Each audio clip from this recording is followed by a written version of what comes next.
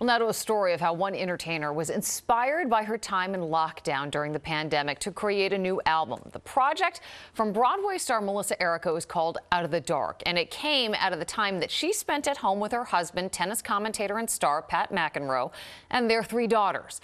Entertainment reporter Sandy Kenyon is here now to explain. Sandy. Liz, Melissa Errico calls her new album a film noir project. That's a reference to a style of movie making popular in the 1940s.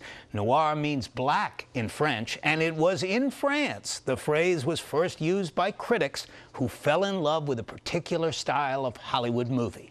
Well, it's an old style given new meaning today. Love, desire, mystery with more than a hint of danger. That's why film noir still has a hold on so many of us.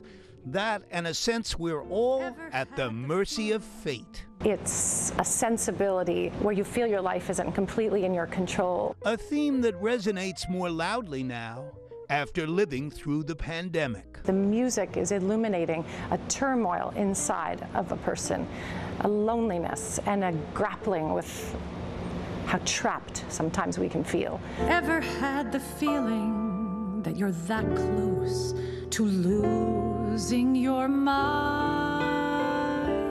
Melissa Errico fell in love with this genre as a student in college, then rediscovered film noir during late nights in lockdown at home while her family slept.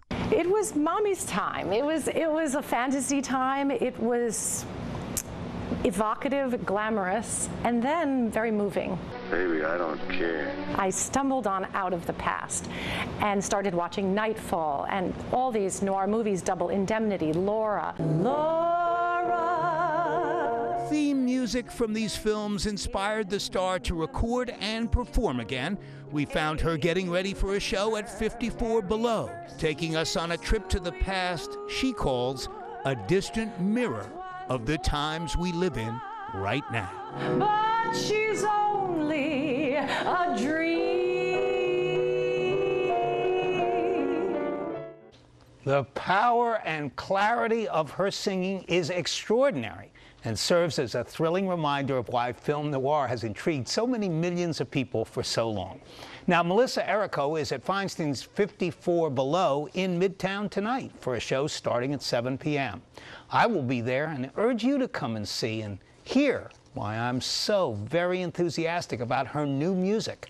Big step up for this Broadway star, Dave and Liz.